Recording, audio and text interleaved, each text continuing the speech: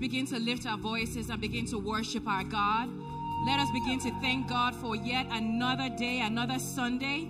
Let us thank God for waking us up this morning. Let us lift our voices and begin to say, Thank you, Jesus. Let's say something beautiful to our God this morning. Lord, we bless and we magnify you, oh God. We thank you for your love. We thank you for your mercy. We thank you for your kindness. We thank you for keeping us, oh God, through the week. Church, let us at this time begin to humble ourselves and begin to ask God for mercy and for forgiveness. If there's anything we have done throughout the course of this week or even this morning that would hinder our praise and our worship from being acceptable unto God, let us begin to lift our voices and say, Heavenly Father, have mercy upon me. Lord God Almighty, forgive me. If there's anything we have said or done, let us ask for the mercy of God this morning. Let us pray that our coming into his presence this morning will not be in vain, that we will come and our expectations shall be met this morning. For no one comes into the presence of God and leaves the same way. So let us pray that the Lord God Almighty will transform our lives, will do something beautiful in our lives this morning. In the name of Jesus. Let us pray that for everyone else who is on their way, let us pray that God will bring them here safely. In the mighty name of Jesus. Father, Lord God Almighty, we just say thank you. We thank you, Almighty God, for your love, for your mercy. We thank you for all that you are doing in our lives.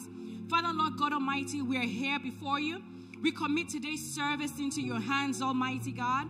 We ask, Almighty Father, that you would take preeminence. We ask, Almighty God, that your name will be glorified in today's service, that none of us will leave here the same way we have come. We ask, oh God, for everyone who will be standing up on this pulpit to minister in one form or the other. We ask, Almighty God, that you would speak through them, oh God. That we ask, Almighty God, that we all will be blessed this morning in the name of Jesus. We invite the presence of God, we invite the Holy Spirit into our midst that the Holy Spirit would come in and take control. In Jesus' mighty name, we pray. Amen. True worship. Good morning. Good morning. It's time to give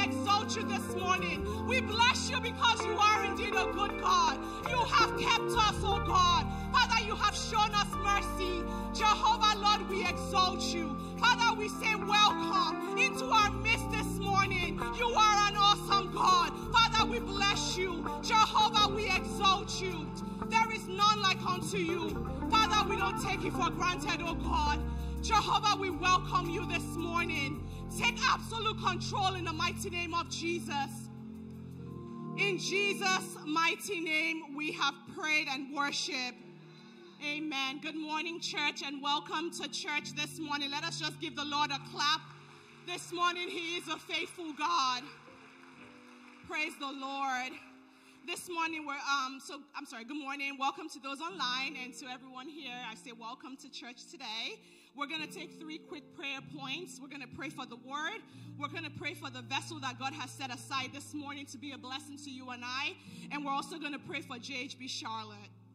Exodus 4, verse 12 says, So go, I will be with you when you speak, and I will give you the words to say.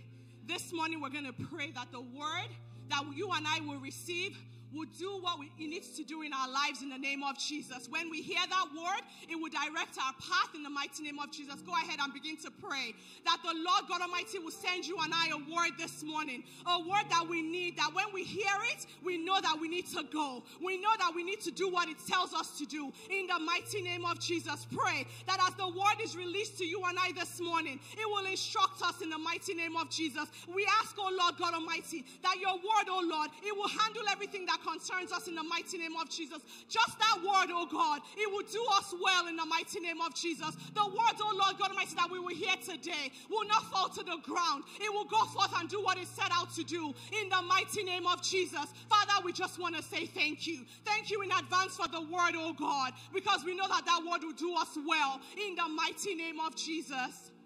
In Jesus' mighty name. The second prayer point we're going to um, call upon God this morning for is for the child of God that God has set aside to be a blessing to us. So pray that as she speaks this morning, she will not speak of herself.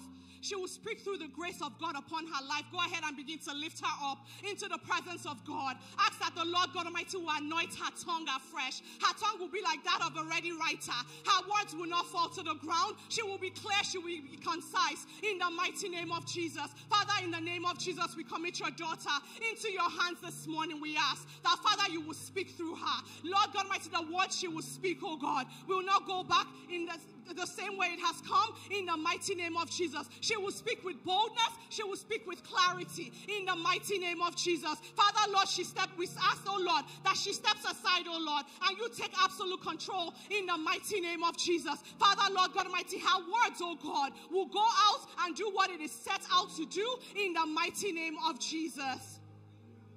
In Jesus' mighty name. And last but not least, we're going to pray for JHB Charlotte this morning. We're going to commit them into the hands of God that as they gather this morning, the Lord will gather with them in the name of Jesus. Go ahead and begin to pray that the Lord God Almighty will be in their midst. They will not um, fail, they will not fall in the mighty name of Jesus. Father, Lord, you will send helpers, oh Lord, from the north, from the east, from the west, from the south, in the mighty name of Jesus. They will grow in numbers, oh God, in the mighty name of Jesus. The words, oh Lord God Almighty, from that place, Lord God Almighty will do them well, in the mighty name of Jesus. We pray for the pastor and everyone, oh Lord, that is working there. We ask that, Father, you will strengthen them, in the mighty name of Jesus. You will help them, oh God. You will hold their hands, in the mighty name of Jesus. Father, we just want to say thank you. For in Jesus' mighty name we have prayed. Eternal King of Kings, Lord of Lords, we just want to say thank you for another opportunity, oh God, to be in your presence this morning. Jehovah, we say thank you. Lord God Almighty, as we go further into the service, we ask, oh Lord, that you continue, continue to be with us in the name of Jesus. We ask, oh Lord, for the word, oh God, that the word we will hear today, Lord God Almighty, will do us well in the mighty name of Jesus. It will go forth and accomplish that which it is set out to do in the mighty name of Jesus. And for your daughter, oh God, we ask that, Father, you will give her strength in the mighty name of Jesus. She will speak with clarity. She will speak with, um, she will be concise in the mighty name of Jesus. Her words will not fall to the ground in the mighty name of Jesus. And for all of us, oh God, we ask that, Father, as we hear the word, the word will do well for us in the mighty name of Jesus. For the rest of the activities of this service, we ask that, Lord, you will take absolute control in the mighty name of Jesus. Thank you because we have prayed in Jesus' mighty name. Amen. Good morning, church. You may please be seated. Let's yeah, let's celebrate the King of Kings. Come on. Hallelujah. You may please be seated as we listen to JHB News.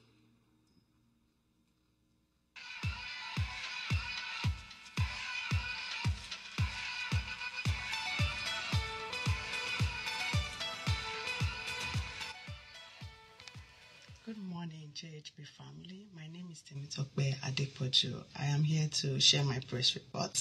I want to thank God for adding another year to my years this month. I want to say thank you, Jesus, for the gift of life. Secondly, I shared in June how I was laid off in February of 2023 and um, it's been God. I am grateful to everyone that uh, has been holding my hands and supporting me in every way. I pray that when you are faced with challenges of life, you will not do life alone in Jesus' name. I am here to share that I got job offers back to back and I was faced with a very good situation of which one to pick and where to go.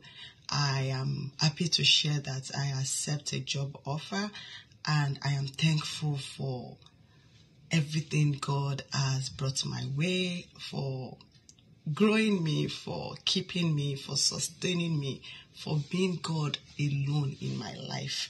I want to use the opportunity to encourage everyone that is going through any form of challenges. I want you to know that God is more than able and He will see you through.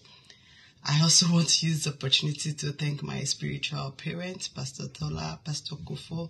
Thank you so much for your love, for your support, for prayers, for all that you do for us. I pray the Lord will continue to increase you on every side in Jesus' name. Thank you, everyone, and have a blessed week ahead.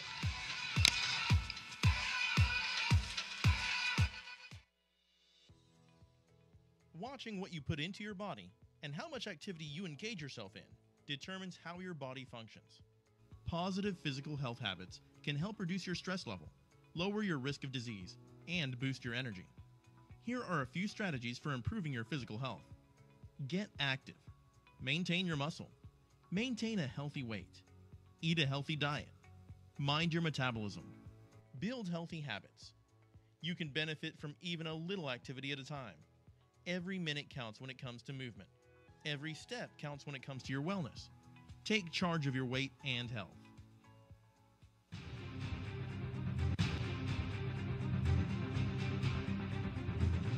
It is who or what you follow that you become. When we look at your life or whoever you are following, if you don't like what you are seeing, it's time for you to follow somebody else. Real transformation gives you an idea. Of what you're going to become. It gives us an idea of what the experience is going to be like when the transformation truly occurs. True transformation starts from the mind. I want you to know that transformation is an inside job, but it manifests on the outside. As a man thinketh in his heart, the scripture says, so is he. Every transformation will challenge your mindset. If you are going to go from where you used to be to where you want and what God wants you to be, your mindset will be challenged. And you cannot be rigid about this because a rigid mind cannot be open to transformation. I discovered something recently about life and leadership. Most of us want to drive nice and expensive cars, but the big problem is we don't want to pay the price for it. When we see great leaders doing exploits and phenomenal things, it's because these people have decided to pay the price. And this is why I am inviting you to this conference being held by Jesus House Baltimore, where we're talking about the burden of leadership. Yes, there is a burden you know, behind leadership. Most of us see, you know, the, the great part of leadership, what looks like ease, you know, concerning leadership exploits and leadership assignments. But wherever you see great leaders, they pay a price behind. And at this conference, I'm going to be speaking about overcoming the burden of leadership. Very important. You don't want to miss it because it's going to be practical. I'll talk about the skills, the tools, and the resources that are required to ensure that you overcome the burden of leadership and you move from disease to ease in your leadership. Join me and my phenomenal host, Pastor Tola Odutola, at this virtual Great Leadership Conference holding on the 22nd and the 23rd of September 2023. If you want to be a great leader, you don't want to miss this. JHB is 26. Let's celebrate God's faithfulness as JHB turns 26 September 2023. Our two day celebration starts on Saturday, September 2nd, the Empowerment Day, with a breakfast at 10 a.m. This is a ticketed event, and tickets are limited. Please register on Church Center app for your tickets. And our anniversary celebration service is on September 3rd at 10 a.m. Ministering is Pastor Femi Atoyebi. Venue is JHB Campus, 7710 Windsor Mill Road, Baltimore, Maryland, 21244. Dates again are September 2nd and September 3rd. For more information, please connect with us on www.jesushousebaltimore.org or call us at 410 521 4783. Oh, magnify the Lord with us, and let us exalt his name together. Psalms 34, verse 3.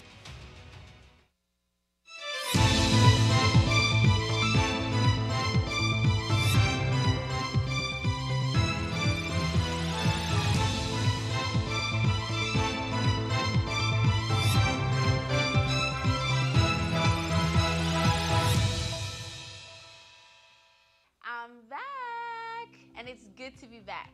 Good morning, JHB. It's your girl Tammy, and this is JHB Revealed. So stay tuned for the following announcements.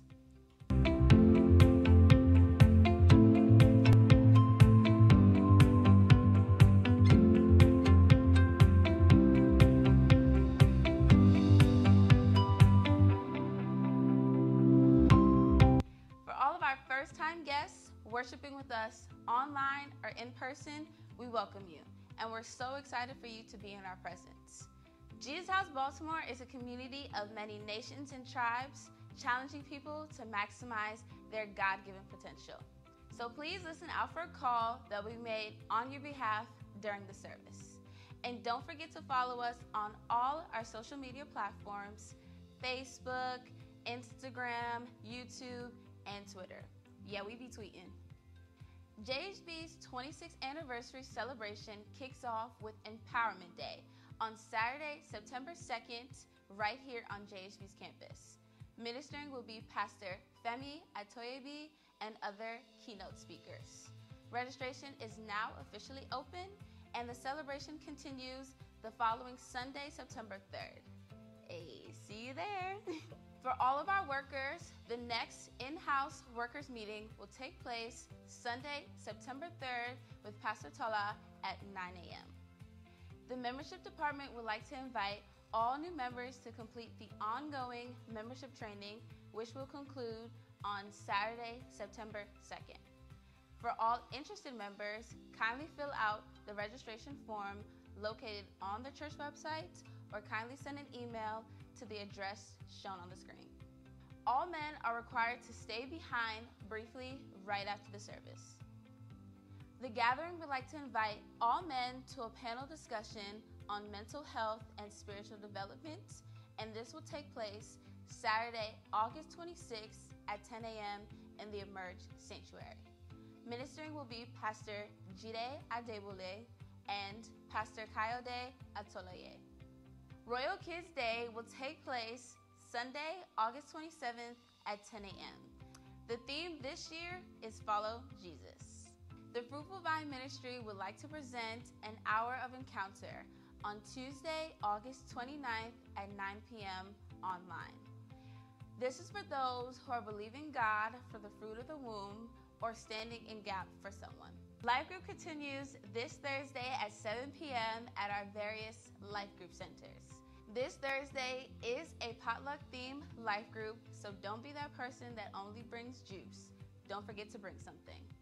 All books donated will be given to the Salvation Army Boys and Girls Club, so kindly drop off all books at the Glory Center. The next Awana registration is now open and will close on August 31st. For those interested, kindly register through the Church Center app. The Believers in Baptismal class will host their next baptismal service on September 16 right here on JHB's campus. For those interested, kindly register through the Church Center app or send an email to the address shown on the screen. The Jules Annual Conference theme Addition by Subtraction will take place Friday, October 13th at 7 p.m. and Saturday, October 14th at 10 a.m., respectively. Registration opens September 1st, and registration is free, but you must register via the Church Center app. JHB presents Relationship Matters, an interactive session hosted by Pastor Tola and Pastor Kofo. This event will take place right here on JHB campus on Friday, October 20th at 7 p.m. So sign up today and kindly note that childcare is free. If you missed any of these announcements, kindly visit our church website to watch again. It's a wrap from JHB Studios. It's your girl, Tammy Alasimbo. Stay blessed, stay safe, and peace out!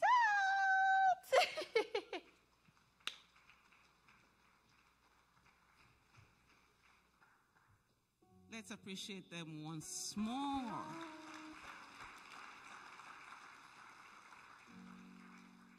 Praise the Lord.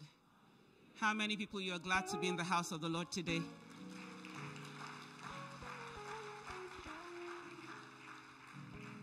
I don't think it's a full representation of the people here. And I know you didn't come to be a spectator, you came to be a participant. So if you're glad to be in the house of the Lord this morning, whether you are in house or you are online, make a joyful noise unto the Lord. Hallelujah. Yes, that's the way to do it. Amen. You may be seated. The, the Bible says, I think it was the psalmist who said, As the deer panteth for the water brooks, so my soul pants after you, O God.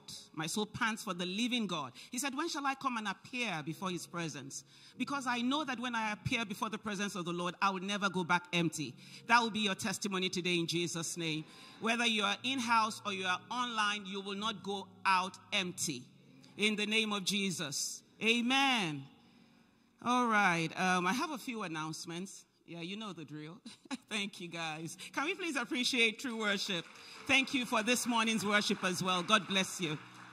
All right, so a few announcements just to reiterate what we've heard um, on JHB Revealed.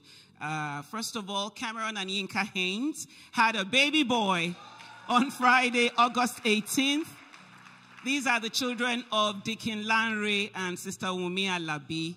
Yes, yes. It's the Lord's doing. It is marvelous in our eyes. For those of us who know them, please call them, reach out to them, celebrate with them. Let's rejoice with those who rejoice. And our own day of rejoicing is coming soon, too. God bless you. JHB is 26. 26. The, I believe the people who are not clapping or rejoicing are our guests. We want you to rejoice with us, also, our guests, if that's you online or that's you in house, because the Lord has been mighty good to us. Amen. And our celebration starts with an empowerment day on Saturday, September 2nd. We're going to be having Pastor Femi Atoyebi and other keynote speakers. That day is an empowerment day. We're talking about building generational wealth. You don't want to miss it. I don't know if the registration is still open or if it is closed. If you know, let me know. But if just in case it still has one more seat, you might not want to miss it. Take advantage of that. You can do so through our Church Center app um, on online. Amen. Uh, we get faith by hearing the word of God. But we get propelled or provoked to achieve our destiny. We get propelled to action by attending a conference like Great Leadership Conference. Whatever it is we don't do will never ever come to pass, even though God is God. So I want to appeal to us as this conference is coming up. Please do not miss it. Don't choose one day or the other. Come and receive what you need to become who God has called you to be. There is still destiny inside of you and potential to be fulfilled. And believe me, none of us have fulfilled our potential. None of us. We're on the way, we're progressing. But sometimes along the way, we have to be reminded, we have to be energized, sometimes we have to be re energized. Please, whichever category you fall into, don't miss the Great Leadership Conference. You've heard many speakers from near and far talking about they being there. Those speakers have impacted generations. Please don't let's be starving bakers, giving for the world to eat and missing out. That will not be your testimony in Jesus' name. All men are encouraged to please stay behind for a brief meeting after today's service. Also, there is um, an open baby shower event for all pregnant mothers and moms to be in the house after service today in the next room. So please avail yourself of that.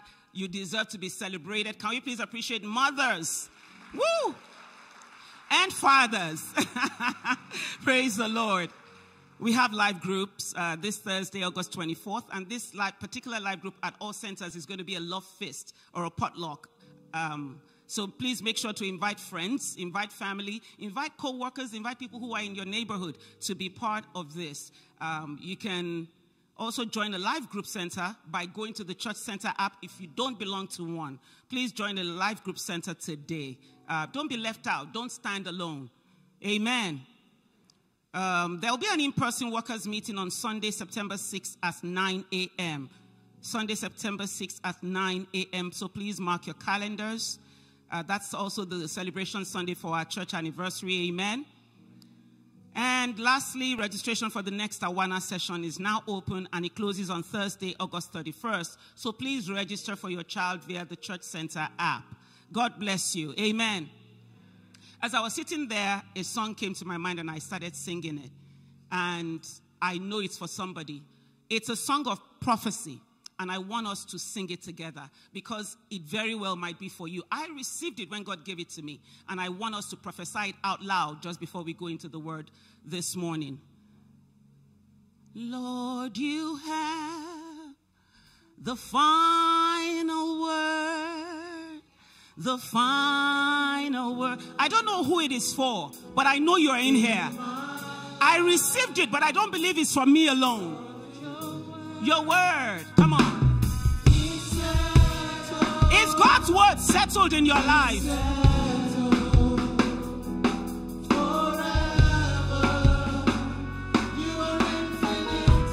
He's the ultimate. Do you trust him?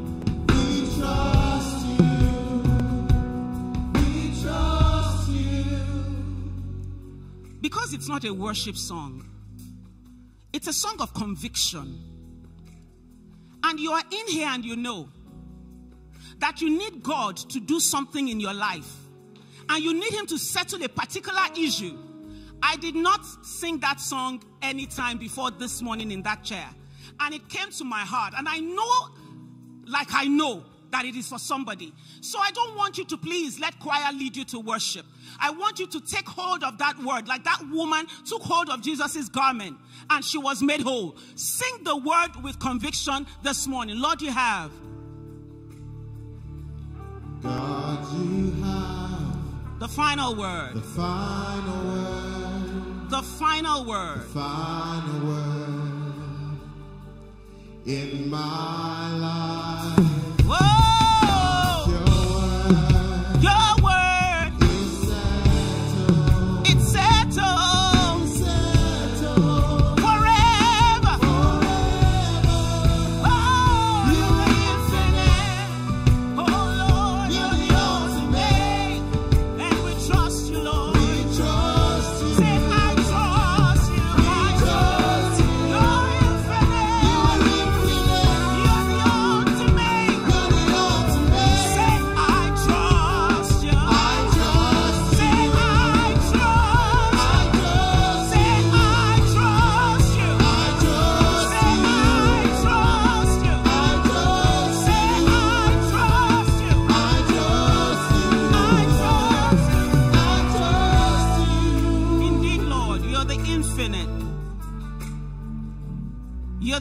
Ultimate. You're the one who has no beginning and no end. You are the one who can change everything, yet nobody can change you. You are the God who says it and means it, and the God who means it and says it.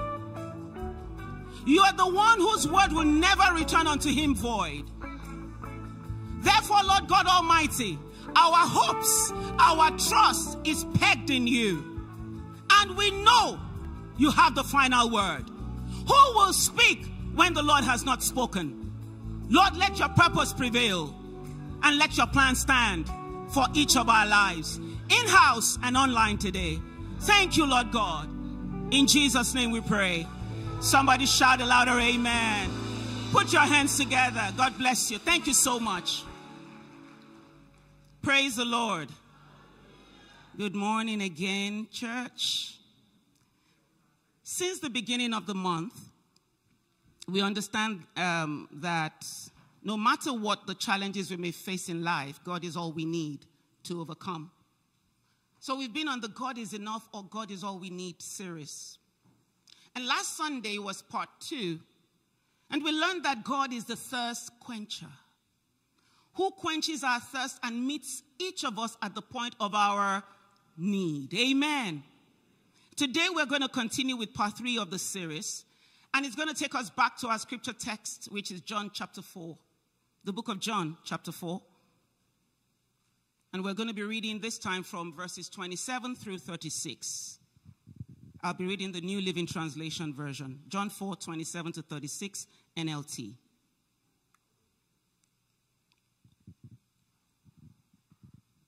Are we there?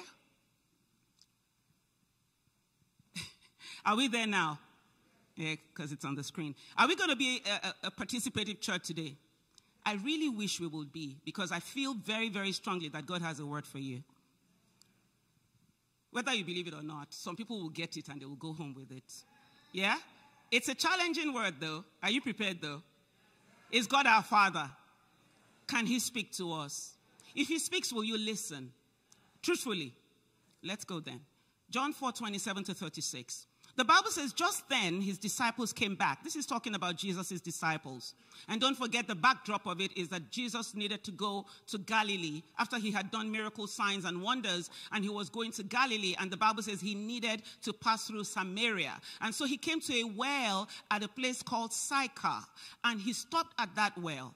And while he was at that well, a woman came to fetch some water. And he engaged the woman in conversation and asked the woman if she would give him water to drink. And the Bible says the woman started to interrogate him and say, You're a Jew, I'm a Samaritan. How come you want water from me? And then Jesus said, If you only knew who it is that is asking you for water, you will not only ask him for water, you will ask him for living water. And that water that he's going to give to you will ensure that you thirst no more. While he was speaking to the disciples, the Bible then said in verse 27, which is where we're starting, he said, Just then his disciples came back. They were shocked to find him talking to a woman. But none of them had the nerve to ask, What do you want with her? Or why are you talking to her? But they were thinking it. That's what I think. They were thinking it, but they didn't have the nerve to ask. The woman left her water jar beside the well and ran back to the village, telling everyone, let's say what she, she told everybody Come and see a man who told me everything I ever did. Could he possibly be the Messiah? So the people came streaming from the village to see him. Meanwhile, the disciples were urging Jesus, Rabbi, eat something. But Jesus replied, I have a kind of food you know nothing about. Hmm. Did someone bring him food while we were gone? The disciples asked each other. Then Jesus explained. Listen to this explanation. My nourishment, that is what satisfies me, what fulfills me, what meets my desire, comes from doing the will of God who sent me and from finishing his work. You know the saying, four months between planting and harvest. But I say, somebody say, I say, wake up. Come on, say it with gusto. And look. Let's say together. But I say, wake up and look around. Can you help me tell your neighbor what we just said? No, no, it's not wake up and look around. He says, But I say, wake up and look around. Can you really look around? Look, no, seriously. Church, let's look around. All right. I'm glad you looked around because we'll get to it. He said, The fields are already ripe for harvest. The harvesters are paid good wages. and the fruit they harvest is people brought to eternal life. What joy awaits both the planter and the harvester alike? It tells you the person who plants is not necessarily the person who harvests, right? He says, you know, you know the saying, one plants and another harvests. And it's true. This is Jesus still speaking. He said, I sent you, Bunmi Banjo. I sent you, David. I sent you Mark, Bola, Debo. I sent you Chukuma. I sent you Nkechi. I sent you. Put your name there. I sent you. I sent you to harvest where you didn't plant. Others had already done the work. I came and did the work, said Jesus. John the Baptist came and did the work. Isaiah came and did the work. Nehemiah came and did the work. Hosea came and did the work. Micah, they came and did the work. Moses came and did the work. Guess what? Your father in the faith, Abraham, they came and did the work. I sent you to harvest where you didn't plant. Others had already, had already done the work. And now you will get to gather the harvest of the work that some of them didn't even experience the harvest of the work they did. But you will come and gather the harvest. I hope you will still be shouting when we get to the core of this message. Because one thing I have discovered is that God and worshiping God is not just about me, but it's also, it's actually about God. There's a song when I went to do my A levels. There's something that used to be called A levels in Nigeria, in a school called Baptist Academy. And there was a song we joined, I joined the choir and, and they taught us God is working his purpose out as year succeeds to year. God is working his purpose out and the time is drawing near.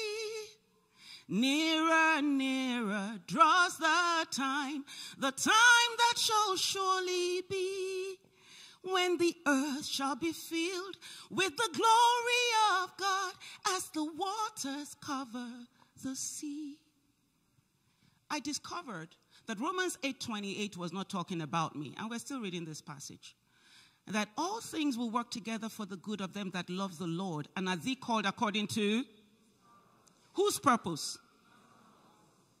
And so I am here thinking I'm running after being who God has called me to be. But the only reason God wants to make me who He's called me to be is so that I can fulfill who? his purpose. There is a kingdom agenda. And each of us are so cogent, so key to that kingdom agenda, you will not believe it. And so while you're running and thinking you're running after your purpose, God said,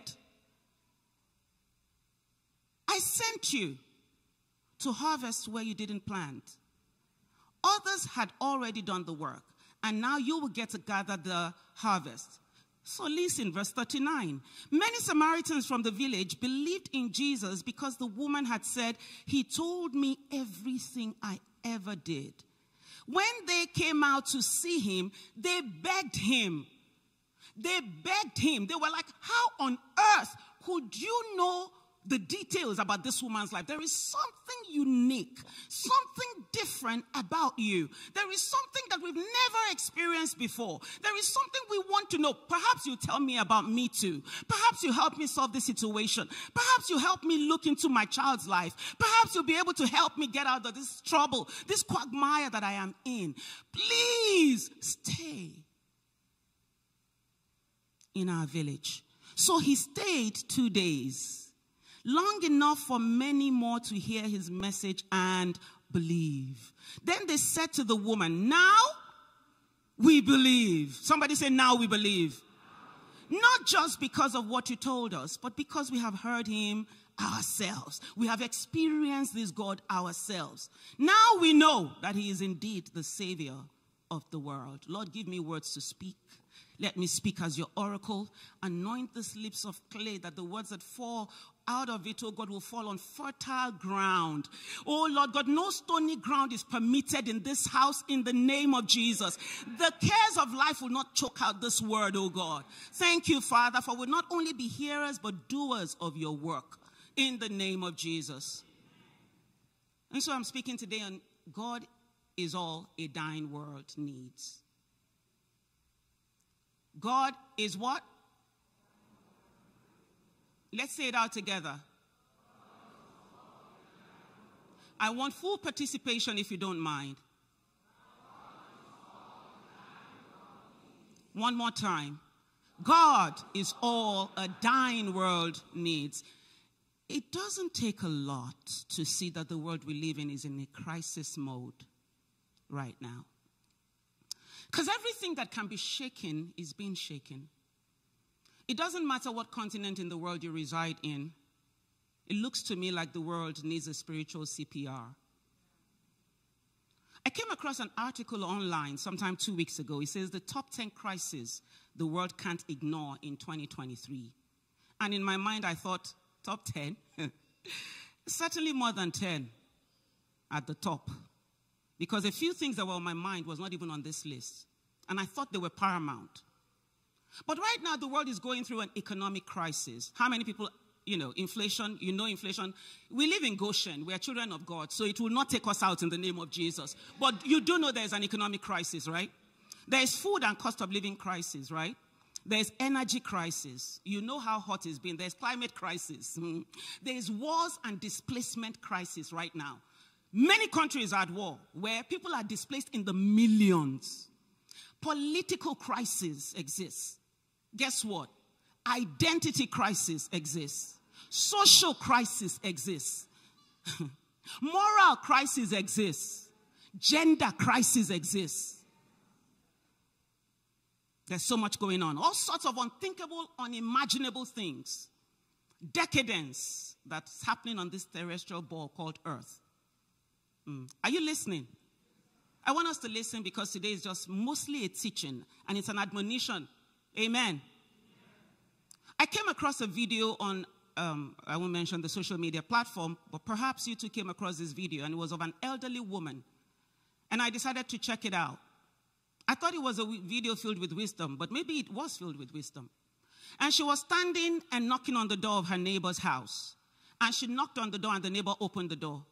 And she said she has a complaint about her neighbor, the person who opened the door. And she said, I have a complaint about you and your spouse, and I noticed you have a toddler daughter. And every time you are taking her to the bus, you are always wearing pink for her. Why? I first of all thought sometimes old age, dementia, stuff, you know, because she was really old. So I was trying to see where is this going. She said, I believe you shouldn't be choosing pink all the time. You have to let her choose who she wants to be. She has a choice on what color she wants to wear. Because she can choose whoever it is she wants to be. Because wearing pink for her, you are presupposing that she wants to be a girl. That's one. And then again on social media, I found another video. I wasn't looking for it, it just came. You know, it comes. and there was this girl, and I thought it was actually crazy. It was a crazy notion to me. Not to talk of the fact that the thing that it's a fact, right? Um, she said she's suing her parents. And the reason she's suing her parents is because they didn't ask her permission to bring her into the world. Okay. And I heard that it's a thing now. That children are cutting out parents because they said they failed them by bringing them into the earth without their permission. Yes. Now, people want the law to be able to sleep with animals. And in some countries, it's been written in the law. It is in the world we live in. We're in serious crisis. But I love it. Because how can the light shine except when there's deep darkness? The only time that you begin to see in the dark is when light gets introduced into the darkness. And so our relevance as light, what does God call us? The light of the world and the salt of the earth. Our relevance is now more pronounced if we really know that we're relevant. Yes, beloved. So back to our text. Just after Jesus told the Samaritan woman about her life, the, the disciples came back and they were shocked to find him talking to a woman. But none of them, of course, had the nerve to ask, What do you want from her, with her, or why are you talking to her? The Bible says they were shocked. Why? You just expressed shock yourself. When you said, ah, when I said these things that are a reality. Their surprise reflected the prejudice of their hearts. Jesus was a rabbi, and according to some Jewish thinkers, rabbis should not be wasting their time to teach or even talk to a woman. So we can say that the woman represented something despicable, like the world we just talked about. And it looks to me like they didn't understand the assignment. I don't think they understood the assignment. This was Jesus who had gone all over the place, healing those who were oppressed, delivering those who were in bondage. The same Jesus who was tired from doing miracles and came to the well at Samaria, at, through Samaria the, to the well at Sychar to meet with this woman. How can you not understand that he did not come for the people who were clean? How can you not understand that he went to the man by the pool of Bethesda who was there with the lame, the blind, the sick, the everybody who had left, everybody who was, who had one issue or the other. Jesus went to them, went to this man where they were and said, will thou be made whole? And Jesus had said in another scripture in the book of Luke, he said, are the people who are not sick, do they need a physician? If the world is indeed sick, isn't it time for the physician to come and minister to the world? If the world is really in crisis, isn't it time for the nurses who are the assistants of the physician to arise and begin to do something and bring the bedpan and attend to the sick? Should a nurse come into your room, heaven forbid if you're in the hospital, and what they're asking you is, how on earth did you get in this situation? It must be something you did. When I heard what you did, I knew it that you didn't deserve to actually be alive. But that is what we do as believers. God saved us. However, by the time we come into the house of the Lord and we get grounded as disciples, we forget. Let me go on. I think I'm rushing ahead of myself. And so, two major, th- three major, two major things happen in the discourse and so on. But I want to bring out three players. The woman. The Bible says in John 4, 28 to 30, he said, The woman who had been through a barrage of you and I know of circumstances and finally got a respite through her encounter with Jesus, left her water jar beside the well and ran to the village. Many of us, if not most of us, when we first received Christ, we left everything that we've known. Some of us left the relationships we were in. Some of us left the environment we were in.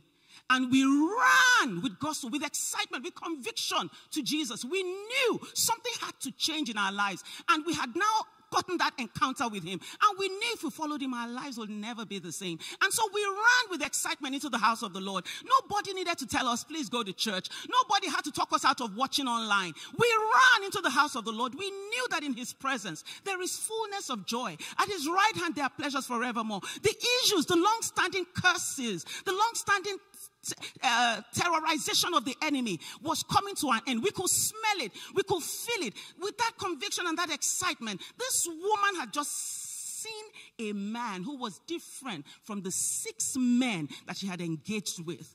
Each of the six men and six encounters had led to failure. But when Jesus Christ came, he gave her hope. And she wanted to transmit the hope. You know, hope can be transmitted. When you meet somebody and they come to you and they say, you know what? I was in this situation yesterday. But when they introduced her to me, she came and took me like a sister and she tended me. Let me introduce you to her because her heart is open. She loves, she's a people person. She loves to help people. And then that immediately she ran into the village and started to tell those people with excitement. But you know, now when we come to church, because that time has passed and it's been a long time, we no longer come with excitement. We don't even come to God with excitement anymore. They have to beg us to praise Him, you know, whine us to worship Him and things like that. I'm not talking to you alone, I'm talking to myself as well. Because unless if there is no breath in my lungs, will I say that, oh, I am not totally guilty of some things. But I've just come today to remind us that you and I have a holy calling. And if God saved us, there is a purpose for which He saved us. Because the God that we serve is not a useless businessman, He's interested in profit. He doesn't waste anything. And so he made an investment in you and I by giving us his spirit. To do what? And when he was leaving, he said, Greater works than what I have done shall you do because I go to my Father. Because in the days of Jesus, there wasn't 8 billion people on the surface of the earth, but now there is. So, pretty much what he's saying is that you'll have more opportunities.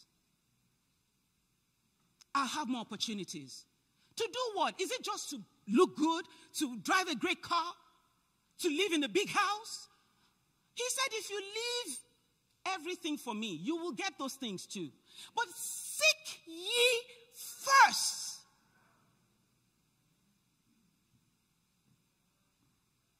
Selah. Pause and calmly think about that. Is he first? The woman went and said, Come and see a man who told me everything I ever did. Could he possibly be the Messiah? All she did was plant a seed. It was a question, sir. Could it possibly be the Messiah? Now, you be the judge. Come and see him for yourself. All we have to do is compel them. That's what Jesus said. Go to the highways and the byways and compel them to come. Then there was another player the disciples. This is you and I. John 4 31 to 38. The Bible says, Meanwhile, are we tracking? Are we here? You know, Jesus had a meeting one time and the people started walking out. They said, This word is a hard word. And he asked his disciples, He said, Will you also go? They said, Where shall we go? Because you have the words of life. You know, I'd really like it if I came to a church that all they're telling me is not just about what I'm going to get, what I'm going to get. Because if I read this Bible, that's not what that's not all that's in there. He said I'll get everything. But if I there's always a condition. Remember, God is not a useless businessman, He's a profitable person. He loves profit. The disciples said in verse 32 to 38, but Jesus replied, uh, sorry, meanwhile, the disciples were urging Jesus, Rabbi, eat something. They were like, please, whatever you are saying to that woman was not quite important. You are hungry. They cared so much about him feeding his physical body than about feeding his vision. And Jesus was not. He said, Man shall not live by what? Bread alone, but by every word that proceeds out of the mouth of God. And if God said, I want those guys, that's going to be what I'm going to do. That's me fulfilling the will of the Father. Luke 19:10 says, "For the Son of Man came to seek and save the lost." He had to reintroduce himself to them that, hey guys, you didn't quite understand the assignment. Do we understand the assignment? When we leave here today, we're going to meet people along the way as we've been meeting them. But there's a way that we can get so wrapped up in ourselves as his disciples and what we're going to eat that we totally forget that the lives of these people are perishing. Difficult enough that we don't wind down to give the homeless guy along the road something. Bad enough. Sometimes I'm telling myself, oh, he should have come further before the light changed. and sometimes I'm like, you know, I could really have stayed there and not go until he comes and let people wait. Yeah, because this man needs to eat. And they're coming in their cars. At least they had money to buy gas. So they definitely have money to buy food.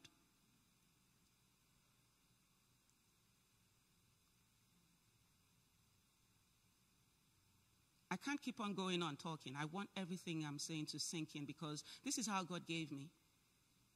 And please let me give it to you like that. The third major player was Jesus. John 4 32 to 38. But Jesus replied, I have a kind of food you know nothing about. Did someone bring him food while we were gone? The disciples asked each other. Then Jesus explained, My nourishment comes from doing the will of God who sent me and from finishing his work. Is that still your nourishment? Or is it just about you? Is this still my nourishment? Or have I gotten distracted? Somebody said distraction. You never know that you're distracted until you're actually distracted. It's inside distraction that you know, oh, I'm distracted. it's after it has happened. Because all that we've ever been thinking about now I know we want to make it. In fact, this is God's will. Beloved, I wish above all things that thou mayest prosper and be in health, even as your soul prospers. He wants it for us. But he's saying, don't forget me. There is a purpose for which I, what you're running after. I don't know what analogy to use. But you're running after a cup of water. I want an ocean. You will drink as many times as you want from my ocean. But please, don't ever forget, I want an ocean. I want an ocean. Jesus said, You know the saying, four months between planting and harvest.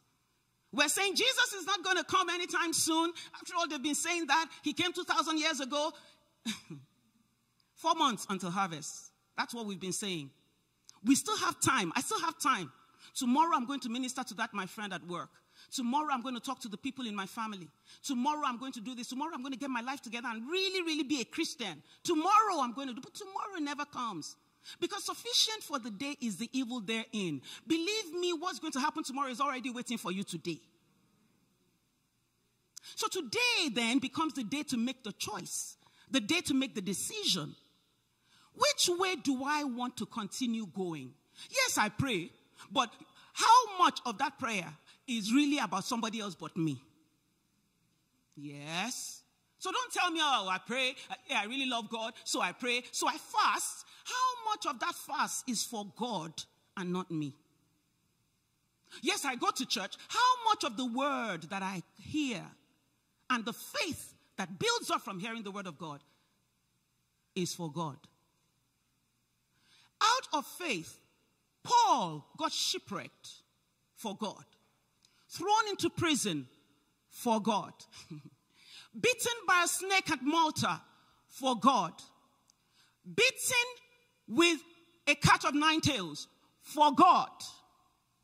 But everything I've done till date has been for me, myself, and I.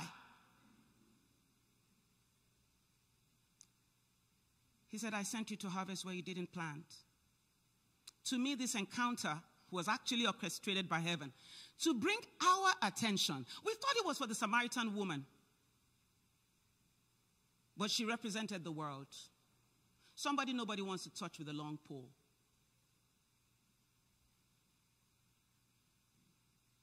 This encounter is a heavenly orchestration for you and I. 2,000 plus years. I don't even know. That thing must be 3,000 now. Because it's been a long time. People have been saying 2,000 years Jesus came. At least 3,000. If not 4,000 even. I don't know. But I don't know. But, but really, it is to bring our attention to the fact that the harvest is here. That everything you see, somebody identifying as this transgender pan, I heard another one last two weeks, pan transgender or something. I'm like, really? So anything you can just conjure up now, you just conjure it up and say, that's me. May that not be our testimony or the testimony of our loved ones. But guess what? All I'm saying today is that's the harvest. That person is the harvest. Yes. Don't say, mm, I don't want anything to do with them. Oh my God. There was a woman caught in adultery that her sentence was to be death. And Jesus ensured that nobody touched her because she was his harvest. Mary Magdalene was possessed. You know those people who roll around that you're doing like this when you're in church for? Possessed. She followed Jesus to the cross. Salome, go and ask all these women and all these men. They didn't come clean. He saw them as the harvest. My question is, what is the outlook and the perception that we have? How are we looking at them? Are we looking at them like people we don't want to touch? Because now we're sedity, you know, we're, we're washed by the precious blood of Jesus and we're whole. But how about them? I'm going to move fast and I'm going to cut many things that I have to say here. And I'm going to go straight. I, I, I had, I had so many things, but I want to go straight to this, this um, area. Why believers don't evangelize? Why believers don't evangelize? Number one, lack of a sense of urgency. Lack of a sense of what? Come on, let everybody. I can't even hear any man. Lack of a sense of what? Thank you, sirs. We believe we still have some time before Jesus returns. And so we tend to procrastinate prioritizing soul winning. Even, do you know how bad it is? If you want to know how bad it is, check in your family. Don't go outside. I'm not talking about the, those people saying those things. I'm talking about is everybody saved in your family? So you say you love them, you will send them money and everything if they need it.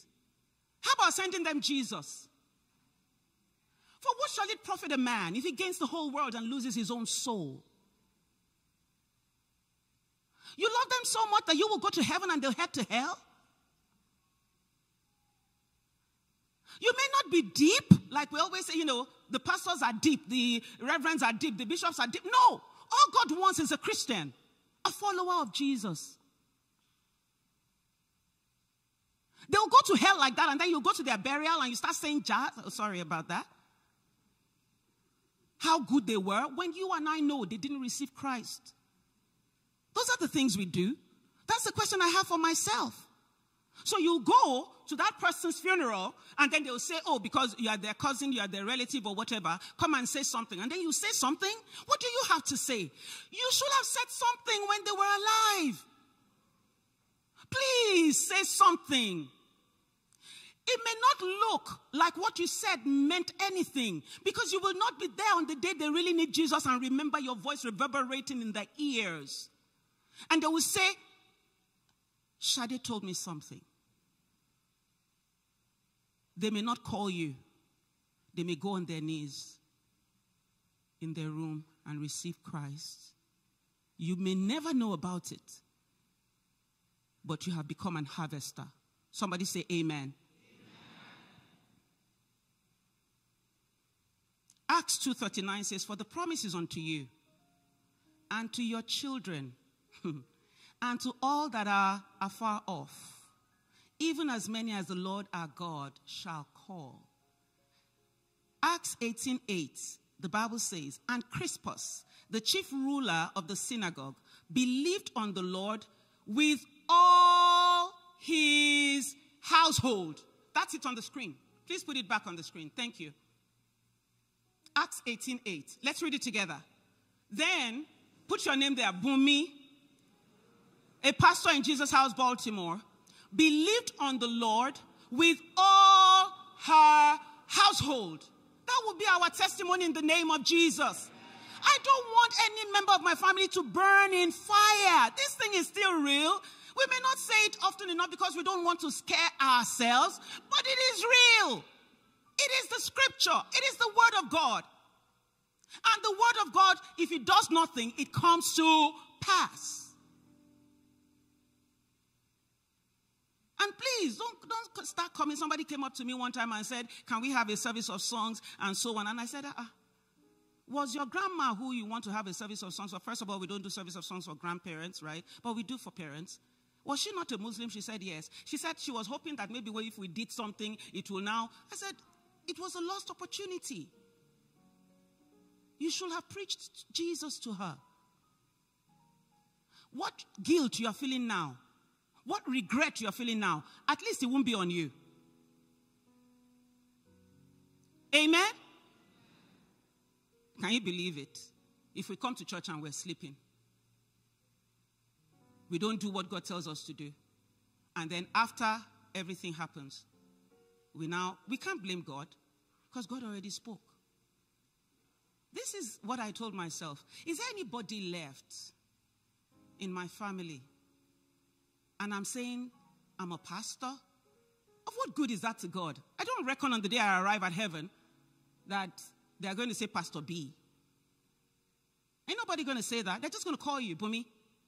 And then they're going to show you everything you did and the opportunities you refuse to take. Instead of fighting ourselves within the church, can we go out there and fight the devil on behalf of the souls that reside out there and bring them in? You have the sickle, get in the harvest. I have the sickle, Bunmi, get in the harvest. Lack of a sense of urgency. That's why the rich man and Lazarus story in the Bible, I believe, um, I don't know, book of Luke. And the rich man was telling God, let Lazarus quickly go and tell my family that there is hellfire. I'm here now, so I know. And God said, if they don't listen to the people on earth, I sent Moses to them, I sent others to them. If they don't listen, this is where they'll end up. In fact, nobody can cross between here and there, so forget it. Whether you, Lazarus, anybody, you ain't going nowhere. He said, Ha! You can imagine how he did. Had I known would not be our portion. Jesus is coming soon. Andrew called Peter. We know Peter now as the major pillar. Jesus said to him, Thou art Peter, Petra, rock, and upon this rock I will build my church, and the gates of hell will not prevail against her. That Peter was called by his brother Andrew. Andrew did not do the works that Peter did.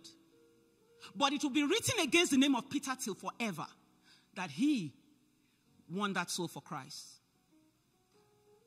Who in your family did you win to Christ? And if you won one, how about two? How about three? Are there only three people in your family?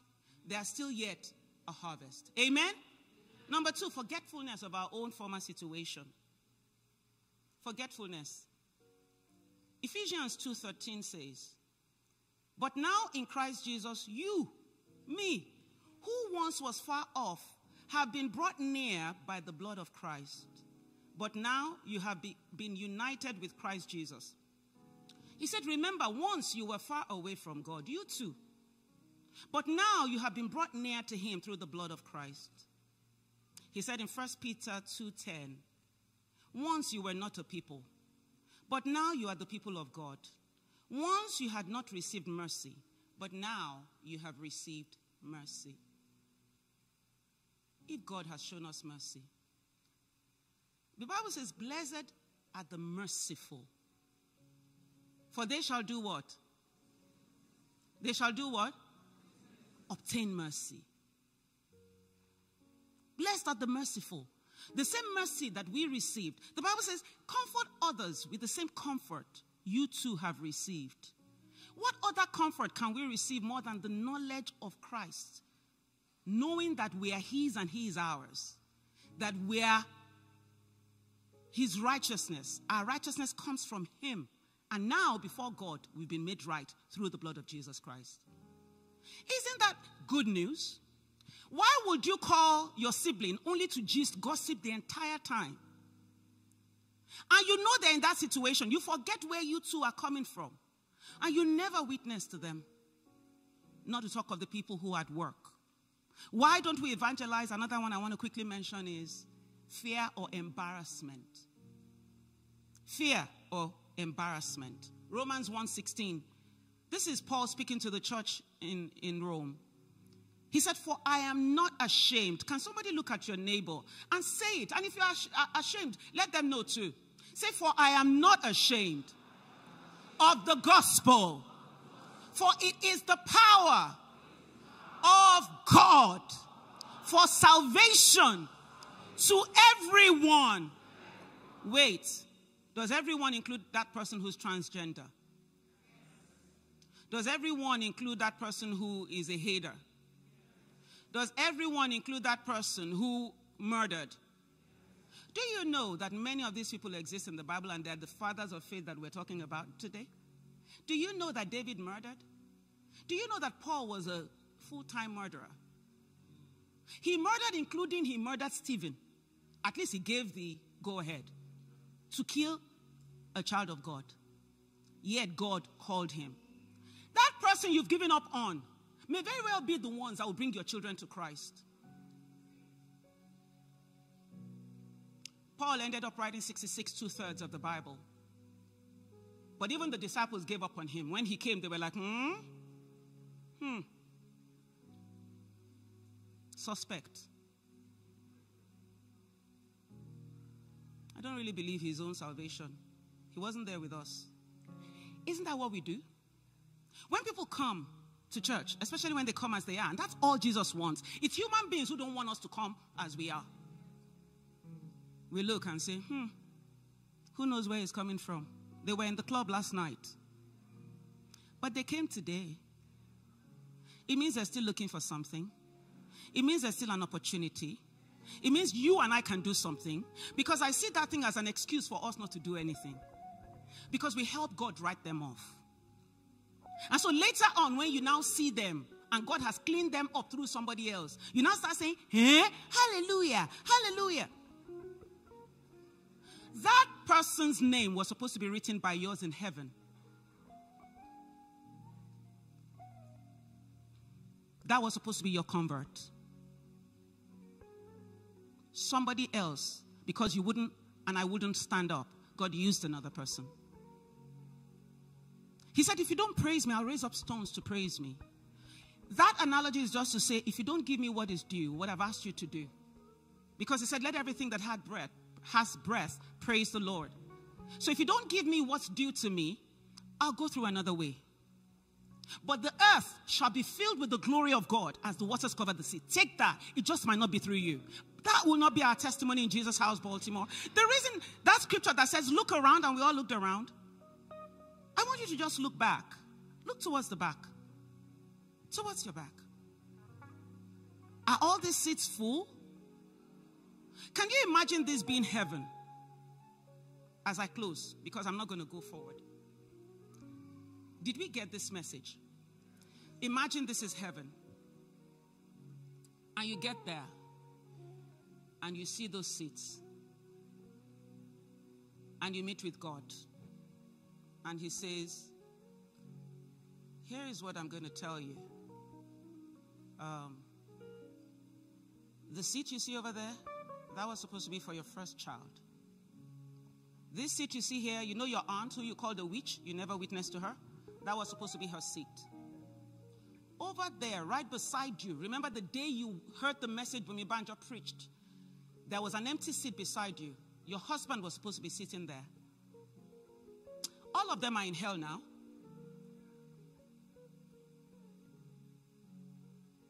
How would you feel? Then he'll show you the one that belonged to your co worker. And he said, All I need you to do is to speak to them about me. I have so much in this message, but I know that the Holy Spirit has already preached what I didn't preach. But I've come today to say God is all a dying world needs. But the only way they're going to do get it or get through to God through Jesus is when we preach Jesus to them. He said, How shall they hear except they get some preaching?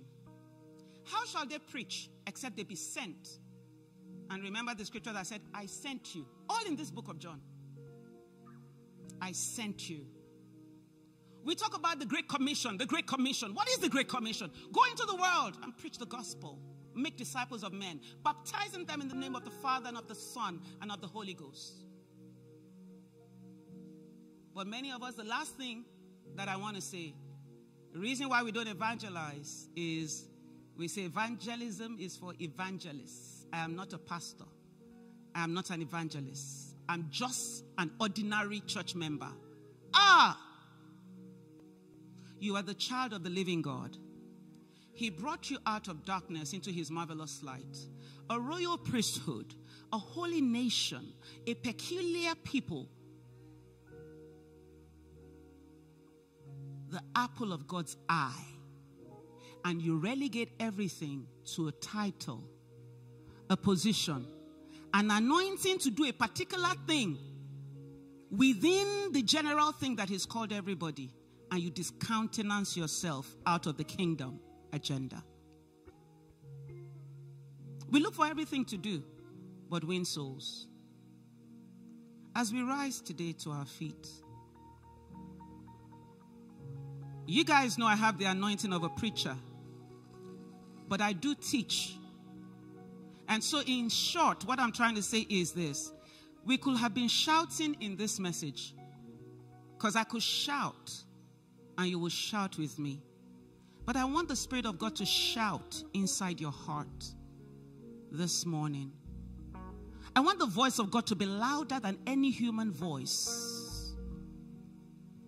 I want you to think about what you thought you were coming to receive in the house of the Lord today. And I want to let you know and submit to you and announce to you today that what you have received is better than gold. The Bible says that he who wins souls, Proverbs 11:30, is wise. The Bible says, He who wins souls will get a reward. God said He's coming with His reward. He's coming with His reward. He is coming with His reward. Everybody will get a reward for the work that they did. God does not want any mamby pamby Christians. He wants an army, He wants soldiers who will fight for other people's lives like it's theirs. He said, Love your neighbor as you love yourself. If you love yourself enough to be a believer, how come nobody even knows where you worship?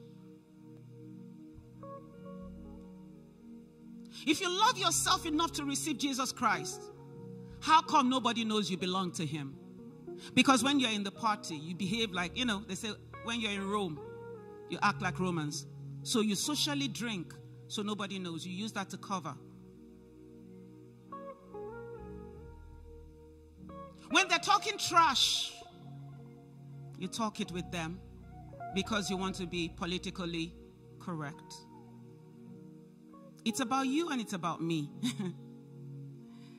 you know, God told me to do something eons ago. I refused to do it. I didn't do it. I gave every excuse in the book. I had many excuses to give until God told me during Peniel I ran out from the chair where I was sitting over there and I went to start it. The day I started it, I didn't think anything happened. The next day, somebody approached me and said, that thing that you did, God laid it upon my heart to help you to do it. And the thing in the past two weeks has doubled in quantity. And so I knew I heard God. But it didn't help getting me to think. All the other things I've been disobedient in. What am I missing out by not obeying? Jesus said, If you love me, one of your proof of my love, of your love for me, is that you obey my commandments. And so when we come to church and we expect always to be wound, we don't mind winding you. True worship does not mind. Pastor does not mind. All the ministers don't mind. Because many times we need encouragement. This church, our vision is to challenge people to maximize their God given potential. But there's a potential that if you don't take care, you will miss is a potential to be a soul winner. On the day you show up in heaven, because the Bible says heaven rejoices at one soul being won. When you come and everybody that your life was tantamount to shows up behind you, I would want the courts of heaven to say Bunmi has arrived. And the angels stand and clap. And the wings of the cherubims come together. And then I hear those words Well done. Thou good, good, you're good, good girl, good guy, and faithful. I committed a little thing into your hands. You multiplied it. I'm proud of you. Now enter into your mansion. Because I'm about to remind him that Jesus said he's going to prepare a place for me. And he says there are mansions. And then they put the crown on my head. Just I've always imagined how Esther wore the crown. A child of God who wore the crown. The crown of righteousness that God has as a reward for his own. I want us to uh, close our eyes. You don't have to bow down your head. All I want you to do is focus on yourself, actually, and think about where you're coming from. None of us was born from the womb born again. In fact, the real definition of born again means, aside from the natural birth, we had a spiritual birth. An understanding that Jesus Christ came and died for us, and a reception of Him into our hearts as our Lord and Savior. I want you to begin to think about where He's brought you from. And I want you to begin to imagine the number of people He can bring from the merry clay in your family, in your workplace, in your neighborhood that you know. Take them out of the dunghill and set them to sit with princes, meaning at the right side of, of God where Jesus is sitting. I want you to imagine them there. If it is in your nuclear family, imagine them there. If it is in your extended family, imagine them there. If it's in your workplace, imagine them. Just imagine them. Just imagine them. And now I want you to pray from your heart. And I want you to mention names. Um, if you need God's help, you've got to be specific. Maybe you've spoken to some before and they didn't listen. Maybe you have a wayward child who doesn't even want to know God. Maybe you have a wayward brother, sister. Andrew called Peter. Peter was unstable for a while, but this same unstable Peter became the rock that the church is built upon. I want you to begin to speak to God to enable you to be a conduit to win their soul. So that on the day of judgment, you will not be asked the question, What did you do? What did you do? I want you to really do it. You know them. You know them. The only reason that you wouldn't do that now is maybe you yourself don't know Christ, whether you're online or in house. Sorry, I know my time is up. I am sorry. But please do this. It's easy to come to church every Sunday and come and get what's mine. and come and get what's mine, Lord, but I'm sorry. I'm sorry that what breaks your heart does not break my heart. I'm sorry that only what breaks my heart breaks my heart.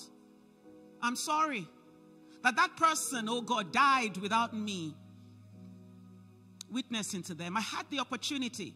Even if it was one visit that I paid them, Lord, it was an opportunity.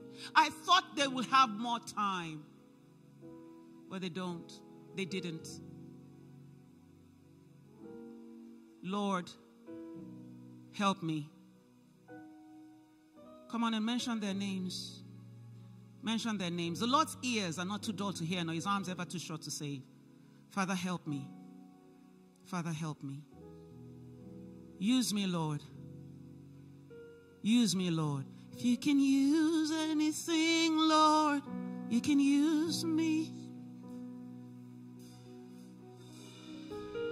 If you can use anything, Lord, you can use me. Take my hands and my feet. Take my hands and my feet. Touch my heart, and speak through me. If you can use, you can use anything, Lord. You can use me. Lift up your hands and sing that song one more time as a sign of surrender. You can use anything, Lord. You can use me. You can use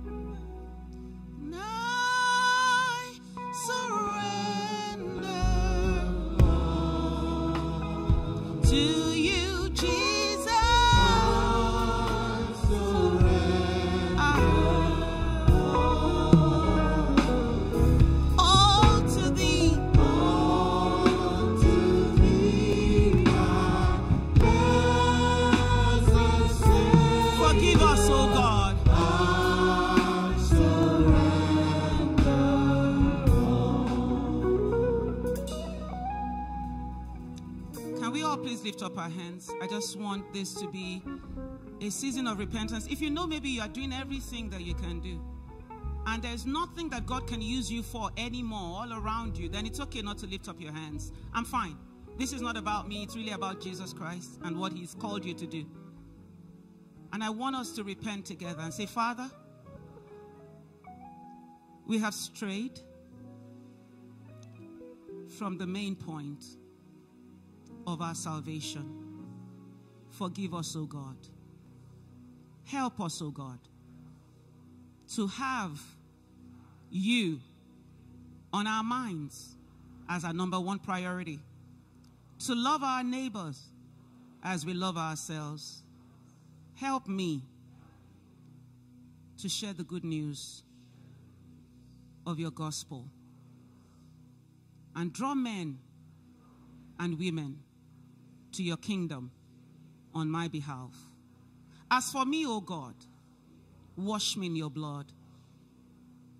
Anything that the enemy can find in me that will water down your effectiveness in my life, remove it from me. Make me whole again. Thank you, my Father. Glory to your name. In Jesus' name we pray. Put your hands together.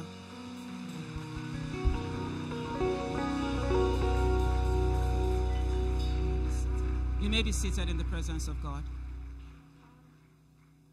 If you didn't give your life to Christ yet, whether you're in house or online, you don't have to stand, you don't have to do anything. All you have to do is speak.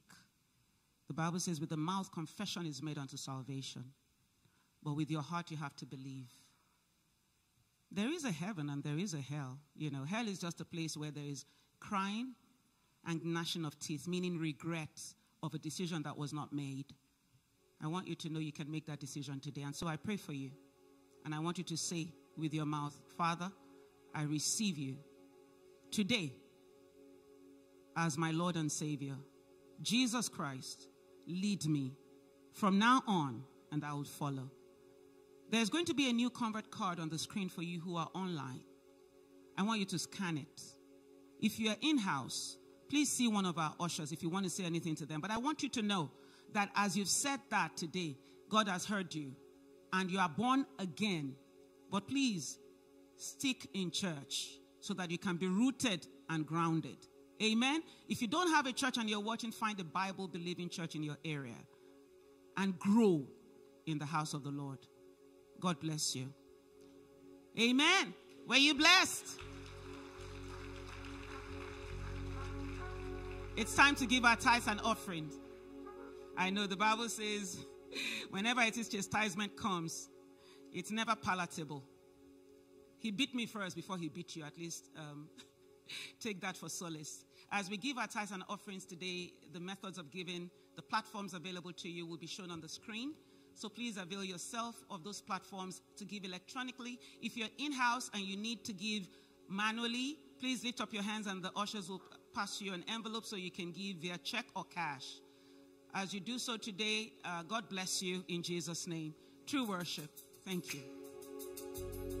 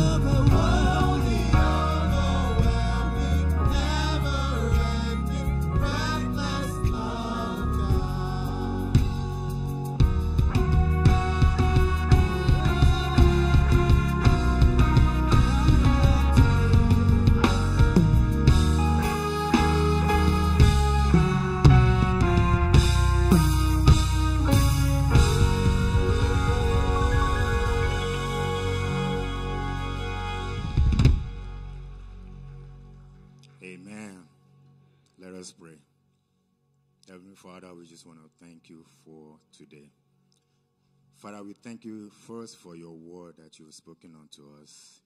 Indeed, Father, we repent. Father, we thank you because we know your word is powerful, sharper than any two edged sword. Father, your word has been spoken and we have listened. Father, we pray for grace, the grace that we need to go into the world and to minister your word and to compel them to come. Father, grant it unto us in Jesus' name. Father, we thank you for the word that has come forth. Father, we pray, let it grow in our heart. Let it continue to move us forward. In everything we do, Father, we pray that we will always remember today that you have spoken and your word, let it continue to be powerful in our lives. We thank you for the giving of your children. Father, we have brought our tithes and our offerings before you. Father, we pray this morning, let it be acceptable in the name of Jesus. Father, we thank you because you are the one that has granted us even this wisdom to obtain. And Father, so we have brought the 10% that you said for us to bring. Father, we pray, let it be acceptable today in Jesus' name. We pray for those that wanted to give but did not have. Father, we pray that you enrich them also in the name of Jesus. Father, we pray for those that will minister this fund. Father, we pray for wisdom. Father, we just pray for instruction how to administer this fund. Father, you grant it unto them in Jesus' name. Father, once again, we just want to appreciate you for all that you continue to do in our lives. We give you praise, we give you glory. For in Jesus' mighty name we have prayed. Let us have our seats. We have come to a session during the service that we welcome those that are worshiping with us for the first time. If you are one of those in house, we will appreciate and we want you to stand up so that we can recognize you. So if this is your very first time in Jesus House, we want you to stand up so that we can uh, welcome, welcome. Those that are around them, please give them a warm welcome. Let us welcome so they will come back. Let's express our love for them. Come on, let's, uh, let's welcome them. Let's welcome them. Let's make them feel welcome. We thank you for coming. We want you to please remain standing. Please remain standing just for a few minutes. We want to welcome you. This is Jesus House, Baltimore. In this house, as you heard this morning, the Word of God will come undiluted to encourage you so that you can maximize your God given potential. In this house, the Word of God is taught. And our pastor, our senior pastors, Pastor Tola and Pastor Kofo, even though they're not here today, they're glad that you're here and they just want to express to you that you are welcome. Just as we are expressing to you, we welcome you.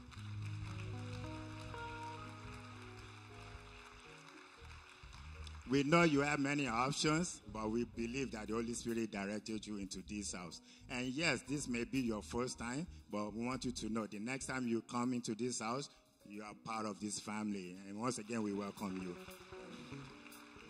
Very soon, somebody is going to ask you to get up and get, collect your belongings.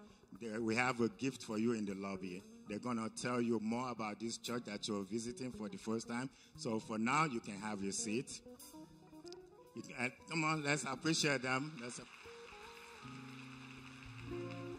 and also, for those that are watching online, if this is your very first time, once again, we welcome you as well. There is a QR code showing on, the, on your TV and on your set.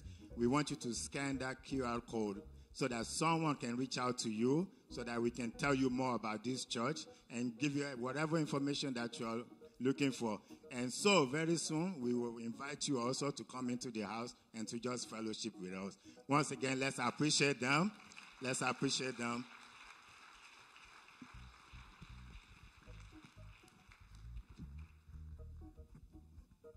Praise the Lord. Hallelujah.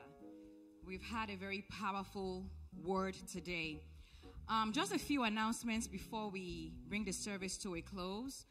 Um, the Revolve Ministry is having a what they call an AI and Chat GPT workshop we all know that AI is all around us, right? Artificial intelligence. So they are putting together a workshop on October 7th. Registration is open in the Church Center app. So please go ahead and sign up. Also, the Fashion Design Affinity Group is inviting all ladies for a makeup and head tie skills session immediately after this service. They're meeting in the faith room in the Glory Center. So that's a great opportunity. You don't want to miss out on this. Also, all men are reminded to please stay behind after this service. All right. I would now ask for our first time guests to please rise. And now you may exit the sanctuary and receive the gifts that have been made available for you. If you stood up earlier, God bless you. Thank you again for visiting us. We look forward to seeing you again next time. God bless you. All right, and for the rest of the of the for the rest of us, can we rise as we bring the service to a close?